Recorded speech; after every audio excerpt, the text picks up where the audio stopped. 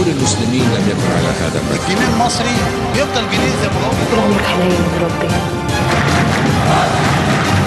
عاوز آكل عيش. بس الموتة دي شرف فدا مصر.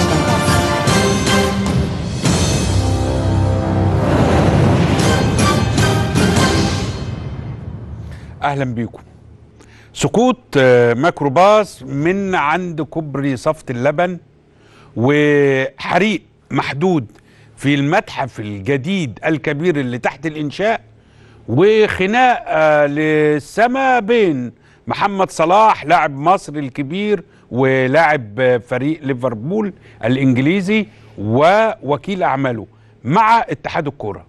ثلاث أخبار فرضت نفسها النهارده. الناس كلها عمالة تتكلم عمالة تعلق. وكل واحد ليه رأي. تروح ليه المتحف الكبير الذي لم يفتتح حتى الآن؟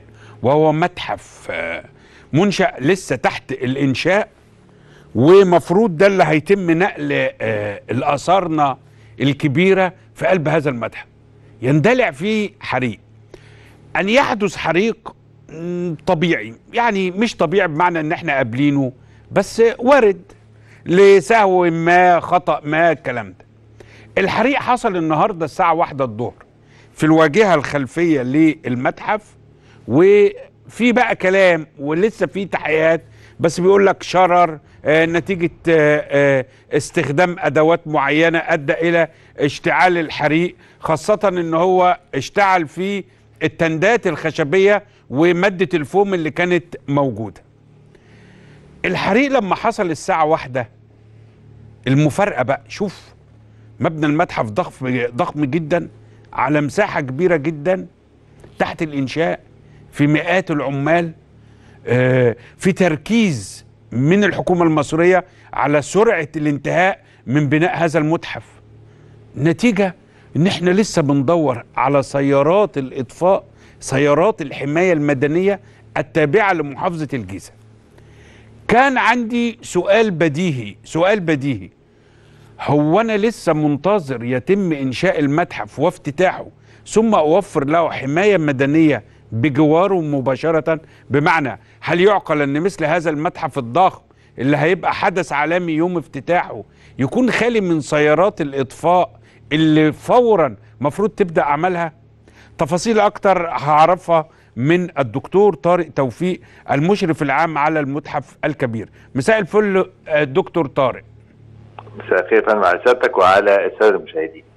آه، ماذا جرى اليوم في المتحف الكبير هو في البداية بالطبع من الناحية الأثرية نظرا لأنه متحف الحمد لله الآثار كانت بعيدة عن هذا الحدث تماما لأن إحنا لسه بنتكلم في مبنى بيتبني. نعم آه، من جهة أخرى الحريق كان في الواجهة الخلفية وفي السقالات والحمد لله لم يمتد إلى داخل المبنى على الإطلاق. ورغم ما أثير في بعض ال- السوشيال ميديا الحمد لله تم احتواء الحريق بشكل سريع وبشكل احترافي لأن بعديها بساعتين تماما كان وزير خارجية فرنسا بيقوم بزيارة الموقع وبزيارة نفس المكان فبالتالي في زيارة كان مرتبا لها كان مرتبا لها. وتمت في موعدها. يعني يعني مع حدوث مثل هذا الحدث يعني تم التعامل معاه باحترافية كبيرة جدا وتم آه، إخماده والسيطرة عليه والزيارة تمت في موعدها عادي هل. جرى معرفة خمسة- السبب آه، دكتور طارق بالطبع حاليا الجهات الأمنية والنائب العام آه، أرسل آه، رجالته وبيقوموا بعملهم بشكل احترافي لمعرفة السبب وبالطبع هيتم آه، تحديد المتسبب و آه، يعني آه، آه، آه، لازم يكون فيه آه، آه، محاسبة للخاطئ إذا كان هناك خطأ في آه، في نفس الوقت المبنى كمبنى. لم يتعرض لخسائر حقيقية طيب خ... أنا أنا عايز أكلمك بصراحة دكتور طارق هو. أنا لسه مستني لما يتم افتتاح هذا المتحف الكبير وهو حدث عالمي يعني آه، بكل الآثار المصرية آه، يعني بما لها من بريق آه، محلي وإقليمي ودولي. وبعدين أجيب لسه سيارات الإطفاء. مش مفروض سيارات الإطفاء تبقى موجودة من دلوقتي داخل المتحف أو بجواره؟ يعني إحنا انتظرت اتواصل مع الحماية المدنية ويبعتوا لي 15 سيارة. إيش أدراك الطريق؟ ممكن يتأخروا ولا في مطر وحضرتك أدرى؟ شوف سيادتك يعني حتى في كل متاحف العالم أكبر متحف ما بيكونش عنده أكتر من سيارة إطفاء واحدة تابعة له. إحنا عندنا سيارتين والسيارتين دول هم اللي قاموا بالفعل بالتواجد بقى في أقل من خمس دقائق ونجحوا في إن يتم السيطرة على الحريق في مكان محدود إن هو ما يمتدش لا يمينا ولا يسارا آه، في الجدار. وهم قاموا بدورهم لغاية ما توصل سيارات الحماية المدنية واللي وصلت الحمد لله بكثافة عالية 15 سيارة وطيارة هليكوبتر من القوات المسلحه فبالتالي لا تم التعامل بسرعة مع الموضوع عمر ما في آه، متحف أو مشروع بيكون عنده أسطول خاص من سيارات الإطفاء ولكن سيارات تستطيع أن تحتوي الحريق حتى تصل الإمدادات من الحماية المدنية الخاصة بالمحافظة الموجودة. سؤالي الأخير هل تعتقد إن هذا الحادث قابل للتكرار كده؟ بالتأكيد إحنا بنتعلم من أي حادث. نعم. فهننظر في آه، الأسباب وهننظر في كيفية إن إحنا ممكن في المستقبل نتفادى أو نتعامل أفضل وأسرع كمان مما تم. يعني ولكن بروفا يعني. تحية. تحية لكل من تعامل اليوم من رجال المتحف المصري الكبير ومن رجال الحماية المدنية. للسيطرة السريعة على الحادث والتواجد الكبير لكل المسؤولين فورا للتعامل مع هذا الحدث. بشكرك الدكتور طارق توفيق المشرف العام على المتحف الكبير. حدث آه حدث. آه بيدينا جرس إنذار؟ يدينا جرس إنذار. كان الحوار كله على السوشيال ميديا إيه؟ هو إحنا لسه افتتحنا المتحف عشان يحصل فيه حريق. يعني الحمد لله طبعا نجا المبنى نجت الآثار وفق تصريحات الدكتور طارق توفيق. لكن آه، ما زلت شايف إن ده جرس إنذار. جرس إنذار مش على المتحف بس على حاجات كتيرة حاصلة أو موجودة في البلد اللي هي فكرة يقلقك فكرة الإهمال. الشخصية المصرية جزء فيها في أغلبنا هو الإهمال التكاسل يعني. وده وارد يحدث وارد يحصل. أتمنى يبقى عندنا يعني فرقة. هو أنا لازم آخد مثال؟ الدكتور طارق توفيق بيقول لي في كل متاحف العالم ما بيكونش فيها إلا سيارة إطفاء واحدة. بس في كل متاحف العالم الناس عينيها مفنجلة بصراحة. ما عندهمش الإهمال اللي إحنا بنعاني فيه هنا في بلدنا. علشان كده لا إحنا حالة فريدة ولازم يبقى عندنا أكتر من سيارة إطفاء. لأن ده لا قدر الله لو تكرر في ظل وجود بقى خلي بالك سياح آثار لا الدنيا تبقى مختلفة يعني. في نفس هذا اليوم وصباح هذا اليوم في اللي متعودين من حضراتكم بيركبوا الكوبري الدائري. الواصله ما بين الدائري وجامعة القاهرة في منطقة كده الكوبري ده بيسمى كوبري صفط اللبن لأنه فوق منطقة صفط اللبن. النهارده ميك- ميكروباص ما كانش فيه الحمد لله ركاب نزل بصاحبه على كشك واعرضوا الصور يا شباب. الميني باص. العناية الإلهية هي اللي أنقذت العشرات لأنه ستر ربنا ادي الميني باص قدامكم أهو ساقط على آه على كشك. وإحنا النهارده بنجهز للفقرة دي وبنتابع الخبر. اعرضوا يا شباب صور على الشاشة. هتلاقي بقى هتلاقي مجموعة من الحوادث. ده ده إحنا يعني جات لنا بشكل عشوائي كده. حصلت صور حادثة حادثة. يعني مثلا يوم 25 أبريل في خمس سيارات آه، آه، تصادموا بسبب الأمطار فوق هذا الكوبري. الكوبري ده الناس بتتكلم عنه. بيقولوا في خلل ما في مشكلة ما. ده واحد. هل أنا خبير؟ بقول لك أنا ولا أعرف ولا ليا فيها. لكن أنا بنقل لك أسئلة الناس. وأيضا لازم نتكلم بمنتهى الصراحة. لازم يتركب على الكوبري ده أكتر من رادار. ليه؟ لأن المفروض السرعة لا تتجاوز ال 60 كيلو. بينما أنا بشوف سرعات بال 120 وال 150 لو الكوبري فاضي بتبقى ماشي عليه كميه العربيات وراك غير عادية. تعالى مثلا في 29 أبريل 2018 وفاة سائق أتوبيس. يعني اللي هو دي حادثة النهارده. أهي. تعالى اطلع على 5 أبريل. كان في تصادم سيارتين ملاكي. نتج عنها ثلاث إصابات.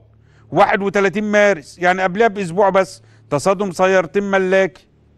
25 فبراير. سقوط سيارة من فوق هذا المحور. 13 فبراير. تصادم ملاكي وميكروباص ووجود تسع إصابات. الله. ده الكلام ده المفروض ما يعديش بقى. ده المنطقة دي كده منطقة خطرة صح ولا لأ؟ منطقة خطر المشي فيها. أنا عايز المسؤولين عن هذا الكوبري بقى ما أعرفش هيئة طرق وكباري ولا إيه يطلعوا يقولوا لي ويطمنوني كمواطن هو العيب فينا إحنا عشان السرعة بتاعتنا ولا العيب في هندسة الكوبري؟ عند عندما كان يتردد هذا الكلام عن كوبري السيدة عائشه يقول لك اوعى تركب كوبري السيدة عائشه في خطأ هندسي. وإحنا طبعا يعني سيدي المعلمين يعني. ده إحنا بنعدل على العربية اللي جاية من اليابان أو ألمانيا يقول لك لا أصل الموتور ورا وكان المفروض يبقى قدام والمهندس مش فاهم حاجة. لا أنا عايز أهل بقى الخبرة كده وأهل العلم يقولوا لنا هل هناك خطأ هندسي تم في إنشاء كوبري صفت اللبن بحيث يتم معالجته؟ ده سؤال بسيط. السؤال الثاني أنا بقول لك كراكب ومستخدم لهذا الكوبري حجم السرعات غير عادية عليه. علشان كده لا أنا محتاج رادار يكون موجود في هذا الكوبري. الحوادث تكررت بكثرة فوق كوبري صفط اللبن. هذه الحوادث قابلة للتكرار. ممكن لا قدر الله تلاقي بكرة حادثة تانية. تالت حدث حصل النهارده وكان حديث الناس والشباب تحديدا على ال social media هي قصة سخيفة بكل المقاييس. ما بين النجم المصري العالمي اللاعب محمد صلاح. وكيل أعماله. القصة إيه باختصار؟ اللي حضراتكم يعني مش رياضيين أو كرويين بس لازم يعرفوها. لأنه ده بيكشف عن الطريقة اللي إحنا بنتعامل بيها كمسؤولين في مصر مع العالم. محمد صلاح موقع. أول حاجة ليه وكيل أعمال. فهو ما بيتعاملش. وكيل أعماله ده اللي بيعمل له كل حاجة. يعني إيه وكيل أعماله؟ هو اللي بترتب له التعاقدات مع إيه؟ مع الأندية. هو اللي يرتب له الأحاديث اللي يجريها مع كافة وسائل الإعلام. هو اللي بيرتب له تعاقدات الرعاية لأنه نجم عالمي دلوقتي. طيب محمد صلاح وقع مع إحدى شركات المحمول العالمية واللي ليها فرع في مصر. ماشي؟ وقع معاها عقد رعاية محتكرين صورته. المهم اتحاد الكورة اتحاد الكورة عامل طيارة اللي هتقل الفريق إلى روسيا وحاطط فيها صور اللعيبة. بس حاطط صورة محمد صلاح بشكل أكبر وحاطط تحتيه شركة اتصالات مصرية اللي هي الشبكه الرابعه هنا الشركة اللي مضى معاها محمد صلاح العقد الشركة الأولى قالت له الحق ده في شركة في مصر حاطة صورتك على على شبكة المحمول اللي موجودة في مصر. وكده في تضارب ما ينفعش. انت ماضي معانا عقد بشروط جزائية. فوكيل أعمال محمد صلاح بعت جواب إلى اتحاد الكورة. قال لهم لو سمحتوا محمد صلاح ماضي عقد مع شركة اتصالات وانتوا عاملين مع شركة محمول تانية. فده يعمل لنا مشكلة. لو سمحتم احتفظوا بصورة محمد صلاح على الطيارة لأنه لاعب بس شيلوا الإعلان اللي موجود. الكلام ده بقاله أسابيع. إن اتحاد الكورة يستجيب لده؟ لا. وجدنا رئيس اتحاد الكورة كابتن هاني بريده يتواصل مع محمد صلاح وإنت ابننا والغالي والحبوب. لا ما هو الحوار ما يتمش كده. إنت في لغة عالمية اسمها اسمها احترام العقود. ما هو محمد صلاح إنت بتتعامل معاه هو مش قاعد بيلعب معاك هنا في أي نادي. ده بقى نجم عالمي. وبقى ليه اسم كبير هو بناه بنفسه. طيب إحنا مركزين مع محمد صلاح وفرحانين بيه وإنه خد جايزة رابطة المحترفين.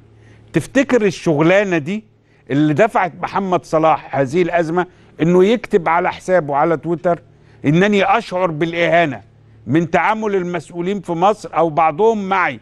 يقصد اتحاد الكورة. طب هل ده ينفع؟ هذا اللاعب هينزل مشتت الذهن؟ تويته موجوده أهي. هذا اللاعب هينزل مشتت الذهن مش مركز هيتعرض لضغوط للعقود الإعلانية اللي مضاها اللي إحنا في اتحاد الكرة هنا تعاملنا معاها بخفه إحنا تواصلنا مع عدد من أعضاء اتحاد كرة القدم المصري. عشان يخش يقول رأي ابدا. محدش عايز يتكلم. طب يا إخوانا يا إخوانا الموضوع واضح لا لبس فيه. محدش بيرد. وكيل اللاعب محمد صلاح قال لك تواصلنا مع وزير الشباب والرياضة مهندس خالد عبد العزيز لكن لم يسفر الاتصال التليفوني عن أي شيء. طب ينفع بعد الوزير في كلام؟ كده أنت رايح لرئيس وزراء كده أنت هتروح لمؤسسة الرئاسة. فجأة هتلاقي مشكلة من لا شيء تتصدى لها مؤسسة الرئاسة. يعني مؤسسة الرئاسة تسيب السيول والأمطار تسيب استعدادات لشهر رمضان وتصدى المشكلة ما بين لاعب دولي كبير وبين اتحاد الكورة. والموضوع مش محتاج حاجة. إن أنت تشطب بس. هل ده في مشكلة؟ هل إحنا بنتعامل يعني إن محمد صلاح ده مصري وجرى إيه وهيتنطط علينا والكلام اللي إحنا البقين الحمضانين اللي إحنا بنبقى بندير بيهم أزماتنا؟ اتحاد الكره أخطأ. وفق الرواية المتداولة بين الجميع. يعني اتحاد الكره أخطأ. كمان أنا عايز أتكلم عن حاجة مهمة جدا. نحن نسيء للكابتن محمد صلاح دون أن ندري. إحنا بقى حديث الإعلام للنهار محمد صلاح. آه نجم وكل حاجة بس تأثير ده على الناس كبير قوي يا إخوانا. يعني أنا عايز أقول لك مثلا أن أسرة اللاعب محمد صلاح تكاد تكون محاصرة. ما خلاص أنت عمال بقى تتكلم عن أفعال الخير اللي عمال يعملها. فاي مواطن في مصر عايز أي حاجة؟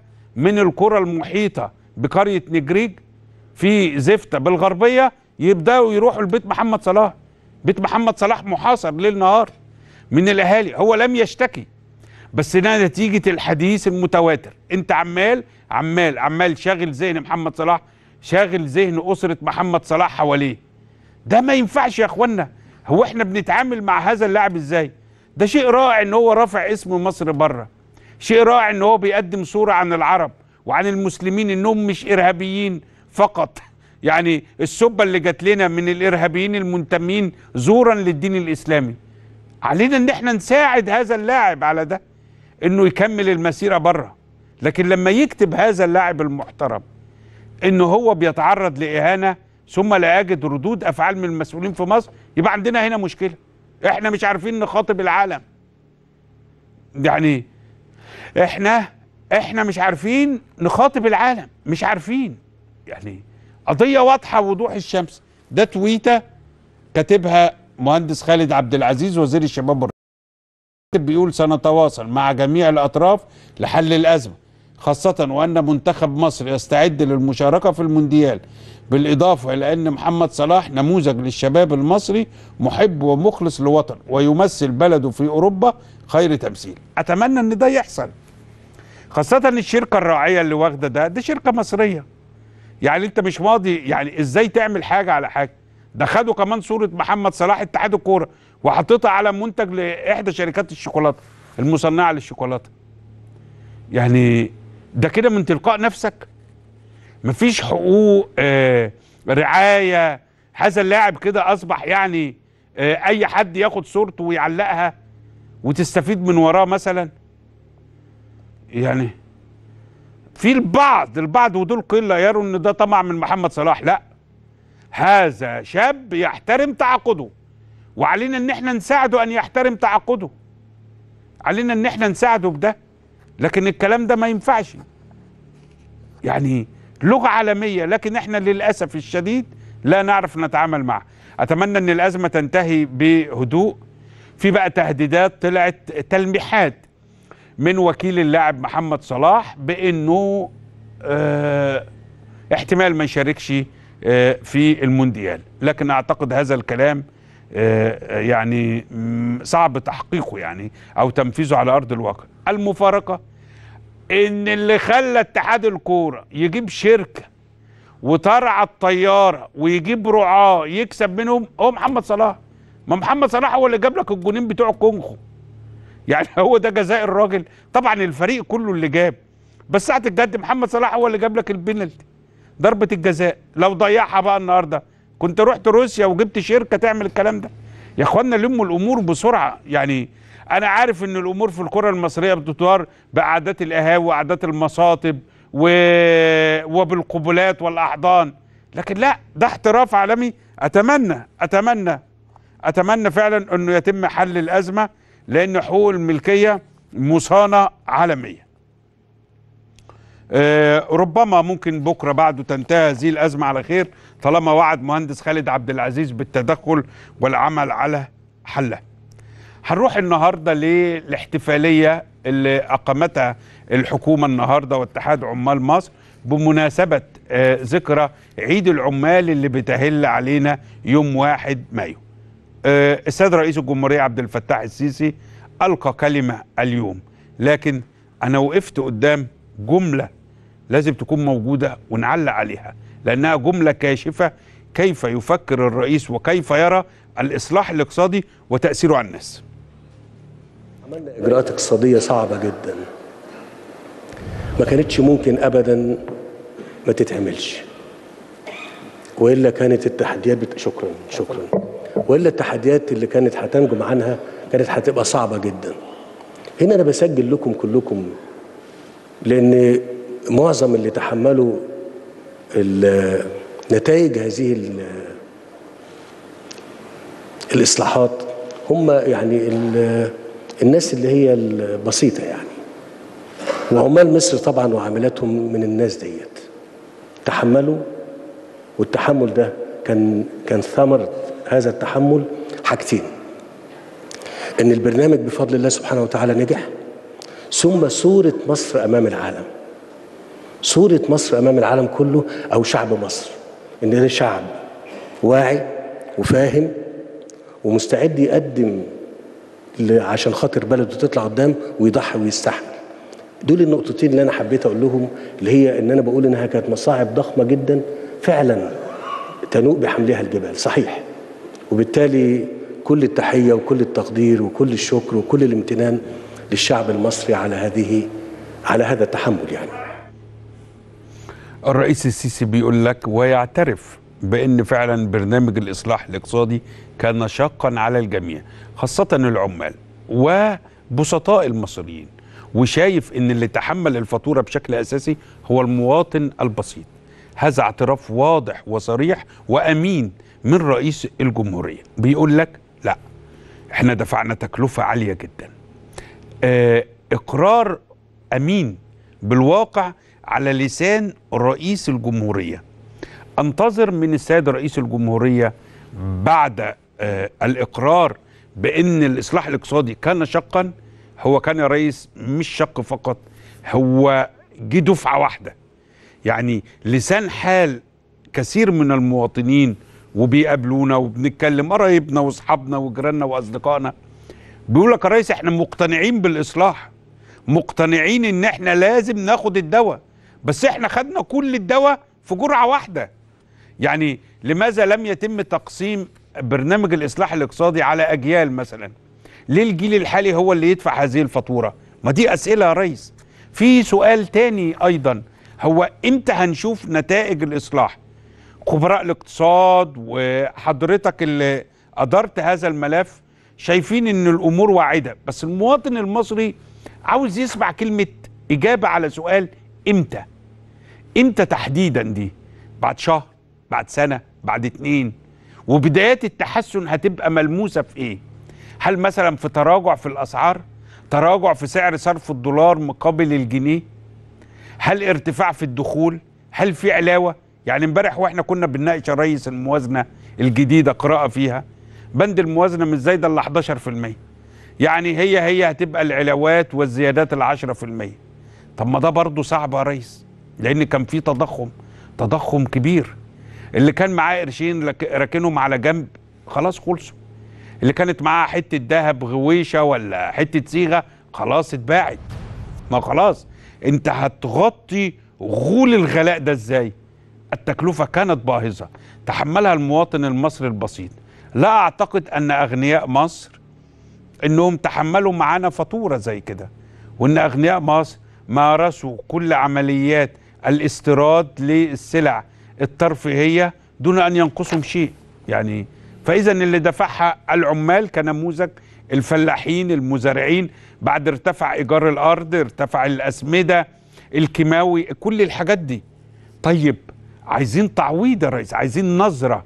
يعني هو دور حضرتك إن أنت تقعد مع السيد رئيس الوزراء وتقعد مع أعضاء الحكومة وتقول لهم يعني حاجة كده بنسميها إيه؟ يعني يعني ارم بياضك. يعني تحية جميلة كده مع بداية السنة المالية الجديدة. طيب الكلام المتواتر أيضا يا ريس على إن هناك آه تطبيق الشريحة الرابعة أو الخامسة لزيادة أسعار الكهرباء. واللي فاتورته بتجيله ب 1000 هتجيله ب 1450 بالظبط. أنا بقول لك ده على الهواء بند دعم الكهرباء كان في الموازنة المالية الحالية 30 مليار. بند دعم الكهرباء في الموازنة القادمة سنة 18 19 اللي هي هتبدأ من 1 7 بند الدعم ده انخفض بقى 16 مليار. ده معناه إيه؟ إن فاتورتك لو كانت ب 1000 هتبقى ب 1450 فاتورتك بتجيلك ب 2000 هتبقى ب 2900 أنا بقولها لك بالظبط. ده هيتم تطبيقه من 1 7 يعني ابتداء من فاتورة 1 8 وكده كده يا عم هتبقى مشغل المراوح والتكييفات والتلاجة والكولدير. يعني هت- هتنبسط. هل ده ينفع معاه يا ريس إن إحنا نعمل علاوة استثنائية مثلا 20% 25% خاصة العلاوة بتيجي على أساس الراتب ما بتجيش على إجمالي الدخل. بس الناس بتسأل. الناس من حقها إنها برضو مشاعر الخوف والقلق والسلف والجمعيات تتراجع بقى. أنا السنة اللي فاتت يا ريس 31 ديسمبر قلت إذا كان 2017 هو عامل حكومة فليكن 2018 هو عامل مواطن مصري. ننتظر نظرة. النظرة دي أو الطلب ده حسينا بيه النهارده في مجلس النواب. مجلس النواب النهارده أحد السادة النواب قرر إن هو يقدم طلب آه، يتقدم بقانون لزيادة المعاشات والمرتبات. هذا النائب هو سيادة النائب المحترم سليمان العميري عضو مجلس النواب عن دائرة مطروح. وبيقول إحنا لازم كمجلس نواب ناخد مجموعة من الإجراءات الاقتصادية نحمي بيها المواطن من الغلاء ومن التضخم. وإن هو بيقول إن العلاوة الطبيعية اللي بتصل نسبتها ل 7% مش هتبقى كويسة. وان هو بيقترح مشروع بقانون لرفع هذه العلاوة إلى 14% أو 15% ويطالب بقانون لزيادة المعاشات. وإحنا هنا بنتكلم على المعاشات علشان برضو نتكلم بصراحة. وحديثي هنا بقى للسيد رئيس الوزراء. السيد رئيس الوزراء آه يعني أنا علقت وقلت ربما الراتب اللي بياخده الوزير في الوقت الحالي مع اعبائه الاجتماعية الكبيرة والنظرة ليه انه وزير والكلام ده وبدل لبسه وحاجته ممكن بالكاد مرتبه يغطيه. آه أنت بتتكلم إزاي يا خير بتدافع عن واحد بياخد 35 ألف جنيه؟ ما أنت مش هتلاقي حد يجي لك أساسا. ما اللي بيجي لك دول علماء برضه بيجي لك ناس يعني أفنوا حياتهم وتاريخهم. أنت عايز المنصب العام آه تبرع؟ ما عادش هيجي لك. وأنا عايز اديرها ان أنا اكون عملي. لأن البعض دخلوا على صفحتي على الفيسبوك قالوا لي ينفع ان انت تدافع عن المرتبات الكبيرة دي؟ ما هو بص هتزنقني في مزنق هقول لك آه ينفع. لكن أنا مختلف على إيه؟ على إن القانون اللي طلع واللي وقع عليه السيد رئيس الجمهورية خلى إن معاش الوزير بقى والمحافظ 80% من إجمالي دخله. يعني هيبقى معاشه 30 ألف جنيه مثلا. يا رب يزيدوا آه، زي ما هو عايز. بس أنا عايز أقول حاجة. ما هو الوزير ده لما طلع وبقى على المعاش هنا بقى مواطن. ما هو في الأصل مواطن. طيب الراجل بقى المدرس المهندس آه، ضابط الشرطة أستاذ الجامعة إلى آخره العامل الأجير ما بياخدش 80% من إجمالي دخله. اذا لماذا قمنا بتمييز السادة الوزراء والمحافظين على حساب المواطنين؟ فده سؤال شرعي. ليه أنا أبويا وأمي ياخدوا تما... ياخدوا المعاش اللي بيبقى مرتبه 10000 جنيه؟ أنا أبويا وأمي الله يرحمهم يعني. بس يطلع المعاش فياخد 1200 جنيه. 1200 جنيه. بس زميله ممكن يكون في المصلحة علشان بقى وزير فمعاشه بقى 30000 جنيه. ما دي مش عدالة. يا تزود المعاشات للكل وتعدل وده أمر مستحيل. إن أنت ترفع المعاشات وتضاعفها كده ثلاث أربع خمس مرات ده الحكومة واقعة في حزبس في قصة آه، آه، حكم محكمة القضاء الإداري اللي أضافت خمس علاوات استثنائية ما كانوش مضافين والحكم ملزم للحكومة بتنفيذه. فأنت يا حكومة اللي فتحت على نفسك الباب. يعني إيه؟ أنا كإعلامي هسندك في فكرة إن الوزير ياخد مرتب كويس. لكن ما أقدرش أبيع للناس انه كمان ياخد معاش كويس. لأنه لازم يرجع إلى المكان اللي هو جه منها. كان جاي كأستاذ جامعي طالع على المعاش يبقى ياخد المعاش بتاعه. الحاجات الصغيرة دي اللي أنتوا بتعدوها وتمضوها لا الشعب قاعد لها. الحركة دي مضايقة كثير من المواطنين. مضايقة. وشايفين إن ما فيهاش عدل وإن فيها ظلم. وأصحاب المعاشات يقول لك اشمعنى أنا؟ ما هو جميع في الد- في الدساتير يا اخوانا يقول لك المراكز القانونية للمواطنين كلهم متساوية. أنا كساعي في أي مصلحة متساوي في مركزي القانوني مع الوزير مع رئيس الوزراء مع رئيس الجمهورية. ما حدش ياخد ميزة أفضلية. إذا اديتها لمواطن لازم تديها للتاني. فالوزير لما بيخرج من ال- الوزارة هو خارج كمواطن يبقى ينطبق عليه قانون المعاشات اللي 1200 جنيه مثلا. حضراتكم ميزتوا الوزراء حضراتكم ميزتم أنفسكم. شوف أنا ما فتحتش بقي لكل وزير بيتفرج عليا دلوقتي وكل محافظ. ما فتحتش بقي على مرتبك. رغم إن ده عامل مشاكل بيني وبين بعض السادة المواطنين رأيهم على راسي. وداخلين بيوجهوا لي نقد حاد على صفحتي على الفيسبوك. وفي رسائل إزاي أنت تنتصر لده يا خير؟ ده انت بتقول ان, إن انت إحنا بنقول ان انت آه، آه، ان انت بتمثل. ما أنا بقول لك ساعة الجد يعني ما فيش بقى حد هيجي لك الوزارة خالص ما حدش هي في وزراء زي مهندس محمد شاكر وزير الكهرباء متنازل عن أجره. فضيلة الإمام الأكبر وهو ليس وزير هو بدرجة رئيس وزراء متنازل عن أجره. لا في وزراء كان دكتور يوسف والي مثلا. يعني لكن انت هتجيب واحد من معمله ولا مختبر ويجي يقول لك أنا وزير واصحى من 6 الصبح و2 بالليل ده أنا لو اشتغلت في اي شركة قطاع خاص بيبقى في ناس علماء بهذا الشكل. أنا اتمنى اتمنى ان مشروع القانون المقدم في البرلمان من سيادة النائب المحترم سليمان العميري واللي بيتكلم فيه على وجود علاوة استثنائية خاصة بقيمة 14 آه 15% اتمنى ألا تقف امام الحكومة. لأن الناس هنا حركه المعاشات للوزراء والمحافظين بتستفز الناس. خلوني أروح لتصريح النهارده للسيد محافظ البنك المركزي مهن... آه الأستاذ طارق عامر. بيتكلم على حجم الودائع في البنوك. حجم الودائع اللي بيودعها المواطنين وبعض الشركات آه في البنوك. رابطين ودايع ادخرنا كام؟ خمسة تريليون جنيه. يعني خمس تلاف مليار جنيه. طبعا جزء منه الحكومة مستلفاه وجزء منه المستثمرين. لكن أنا وقفت قدام الرقم. بيقال إن معدل الادخار عند المواطن المصري بسيط. بس أنت لما تقف أمام رقم 5000 مليار جنيه ده رقم بالنسبة لي كبير. يعني أن هناك شريحة من المواطنين ذهبوا طواعية إلى البنوك وراحوا حاطين في البنوك 5000 مليار جنيه ربطوها وديعة. بحثا عن الفائدة المنتظرة اللي هي في الوقت الحالي في حدود 15% 15% ثابتة اللي هي الشهادة البلاتينية الثلاث سنوات. المواطن اللي حط هذه المبالغ الكبيرة المواطنين ده معناه إن هم نزلوا السوق ما لقوش أي حاجة يحطوا فيها الفلوس دي. مفيش استثمار. مفيش مشروع ضخم. الحكومة أحيت آماله وسط الناس وقالت لهم تعالوا ساهموا فيه. زي مثلا آه، قانون آه، زي آه، مشروع تفريع قناة السويس مفيش إقبال لدعم حقيقي للصناعات الصغيرة ومتناهية الصغر يعني أنا معايا 500 ألف جنيه 300 ألف جنيه.